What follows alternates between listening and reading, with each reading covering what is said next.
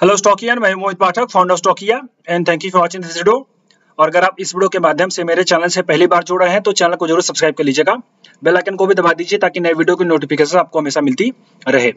मैं आपके लिए डेली बेसिस पे प्री मार्केट की वीडियोस अपलोड करता हूँ। हम ये प्लानिंग करते हैं कि अगले दिन निफ्टी बैंक निफ्टी में किस तरीके से काम करना है, कहाँ पे बाई कहाँ पे सेल करना है, और हम किस तरीके से व्यू बना के रख सकते हैं। ओके तो चलिए इस क्रम में हम देख लेते हैं कि आगे किस तरीके से काम होगा। दैट इज़ मंडे सोमवार के दिन और सेकेंड सेप्टेम्बर मतलब कि नया महीना होगा तो हम उसमें काम करेंगे, किस तरीके से देखते हैं। फ़िलहाल, इसके पहले हमने जो प्लानिंग करी थी, आज के लिए मतलब ये जो फ्राइडे का दिन था, इसमें हमारी प्लानिंग थी कि इसके नीचे से हम सेल करेंगे और यहाँ पे कहीं पे बाइंग करेंगे बट ये गैप अप ओपन हो गया तो हमारा पूरा प्लान में से कोई भी एंट्री नहीं हुई। तो आज के दिन में हमारा कोई भी ट्रेड नहीं बना था मतलब फ्राइडे के दिन हमारा कोई ट्रेड नहीं बना था, और इसीलिए मैंने आपको मेरे टेलीग्राम चैनल पे अपडेट भी कोई नहीं दी। बिकॉज़ ये मार्केट था। अब इस मार्केट में मैं आपको क्या अपडेट दूँ? अगर मैं कोई अपडेट दे भी दूँ तो आप वॉलिटिलिटी को हैंडल नहीं कर पाओगे। लॉस होगा। सो बेटर है कि इस दिन ट्रेडिंग ना करें, वो ज़्यादा अच्छा होगा। ओके तो जिस दिन मार्केट समझ में नहीं आता, उस दिन शांति से बैठे रहो। हर दिन ट्रेड करना ऐसा ज़रूरी नहीं होता।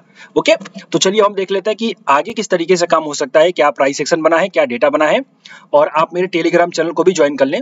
इसके लिंक इसी वीडियो के कमेंट बॉक्स में है डिस्क्रिप्शन बॉक्स में भी है। और आप अगर लिंक ना काम करें तो सिंपली टेलीग्राम पे जाकर के स्टॉकी इन्वेस्ट सर्च करिए। बट याद रखिए यहाँ पे thirty two hundred something subscriber है, आप इसी को ज्वाइन करिएगा। बाकी सब जो है, वो फेक चैनल है। ओके चलिए। सो अब हम शुरू करते हैं। डेटा सबसे पहले देखते हैं बिकॉज़ मेरा डेटा का फॉर्मेट आप सबको मालूम है। सबसे पहले अगर हम देखें यहाँ पे तो जो पुट वाई है निफ्टी में, वो ज़्यादा है और कॉल वाई कम है। तो इसका मतलब जो आपका डेटा है, वो बुलिस है। अगर हम इंट्राडे में देखें मतलब कि फ्राइडे के दिन जो काम काज हुआ उस दिन कैसे पोजीशन बने तो वहाँ पे भी बुलिस पोजीशन बनाई गई। तो इसका मतलब है कि जो डेटा है वो बुलिस है दोनों साइड। तो हम यहाँ पे बुलिस व्यू बना के चलेंगे। हमारा जो अंडरस्टैंडिंग होगा वो बुलिस का रहेगा।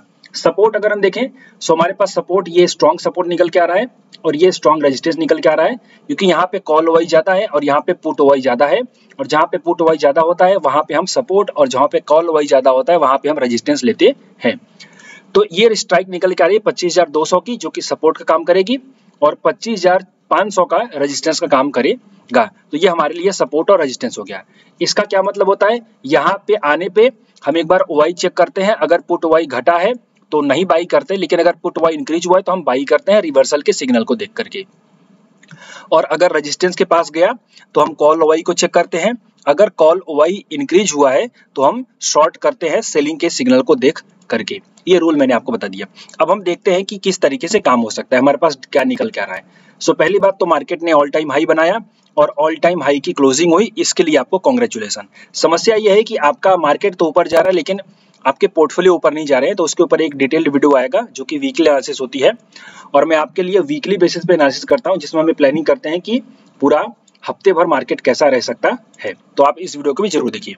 सो अब अगर हम यहाँ पे बात करें, किस तरीके से ट्रेड करने की तो ये देखिए, फ़िलहाल ये जो एरिया है, ये एरिया ऑफ़ रेजिस्टेंस का काम करेगा।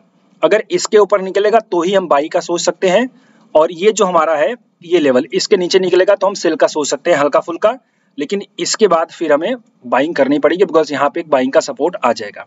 ओके तो हमारे पास अभी सपोर्ट एरिया यहाँ पे है, इस एरिया में जो कि पच्चीस हज़ार एक सौ से एक सौ बीस के आसपास है, और इसके नीचे निकलेगा तो यहाँ तक जाएगा फिर यहाँ से बाउंस बैक होगा तो बाइंग आ जाएगी ओके तो ये प्लानिंग आप समझ के चलिए। अब इसको हम कैसे ट्रेड करेंगे इसको समझ लेते हैं। सबसे पहले ये हमारे पास एक लेवल है।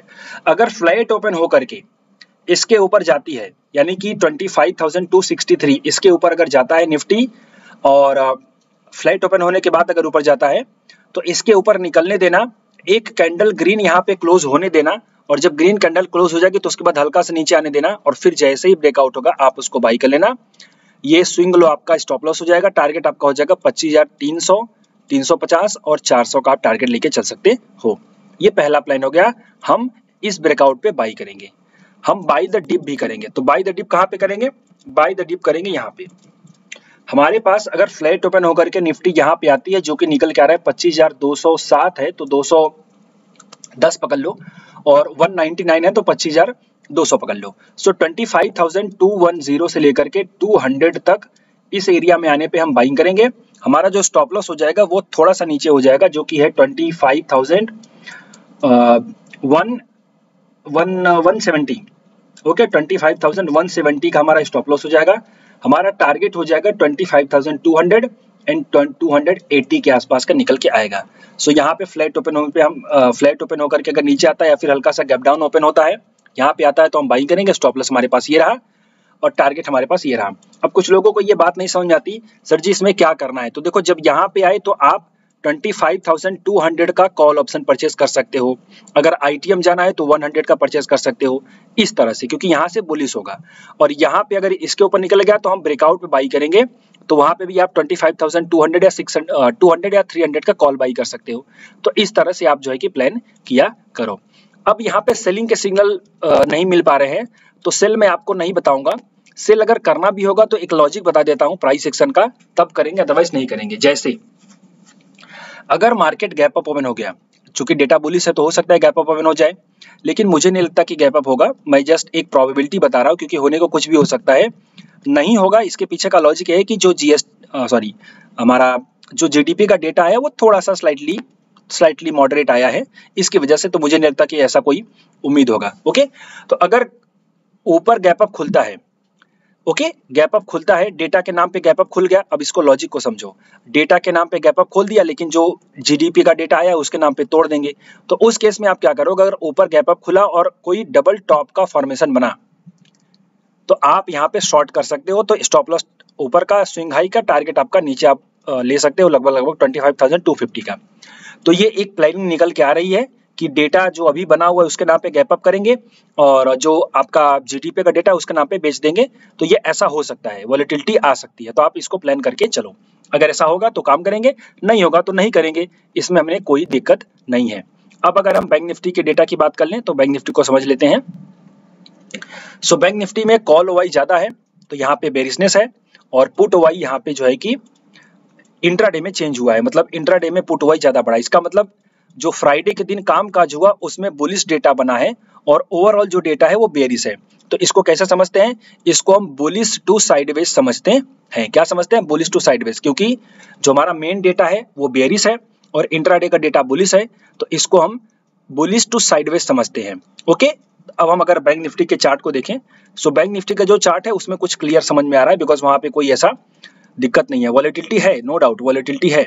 लेकिन अच्छा एक चीज़ मैं बताऊँ, यहाँ पे मैंने कॉल ऑप्शन शॉर्ट किया था ओटीएम का।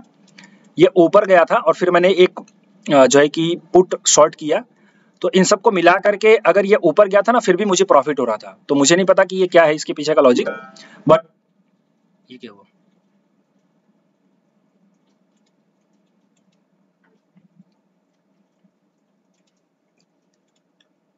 चलिए जो होगा देखेंगे। तो सिंपली यहाँ पे मुझे लगा मतलब ये जो सेलिंग था हमारा मतलब जो बेरिस प्लान था उसने काफ़ी अच्छा मतलब बेसिकली डीके दिया। तो डीके हुआ। लास्ट में यहाँ पे जो स्पाइक है ना इसमें काफ़ी लोगों का हिट हुआ बट मैं पहले निकल गया था।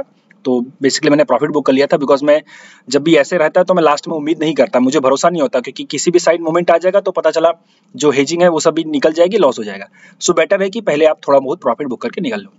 ओके okay, तो प्राइस एक्शन जो है वो आपका अगर हम ओवरऑल देखें प्राइस सेक्शन हमारे पास जो बैंक निफ्टी का निकल के आ रहा है वो मोटा मोटी बुलिस टू वोलेटाइल है मतलब एक चैनल में चल रही है ऊपर।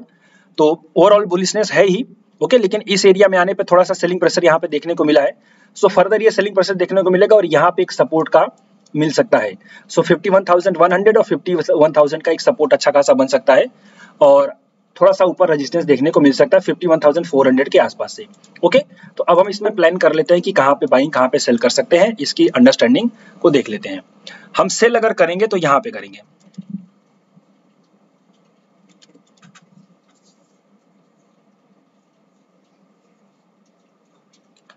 लगता है ऑफ़िस में कोई मच्छर आ गया है और वो काट रहा है मुझे। ओके चलिए देखते हैं। सो so, सिंपली यहाँ पे हमारे पास जो बैंक निफ्टी है वो ऊपर है। अगर 51,430 430 से लेकर के 453 या 50 ले लो 430 से 450 के लेवल पे अगर दिख जाएगी कोई भी सेलिंग का सिग्नल मिलेगा। याद रखना सेलिंग के सिग्नल पे करना है।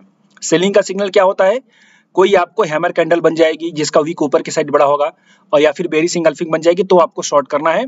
स्टॉप लॉस जो आपका होगा 466 है तो 465 ले लीजिए। टारगेट आपका हो जाएगा सीधे सीधे 51300 का। और अगर नीचे जाए तो आप 280 का भी ले सकते हो बट आपको यहाँ पे एक बार प्रॉफिट बुक करना पड़ेगा।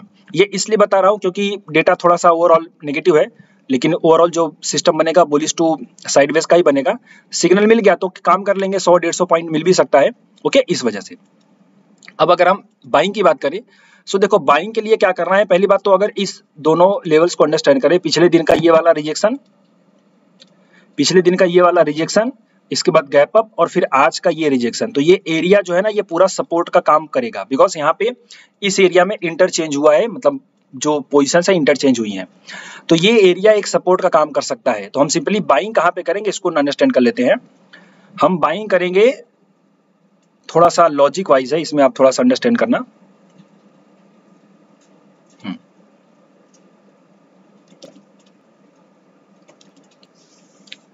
स्टॉप लॉस जो होगा, वो होगा। बैंक निफ्टी में हम बाई करेंगे fifty one thousand two one zero है तो टू टू ज़ीरो ले लो। Two two zero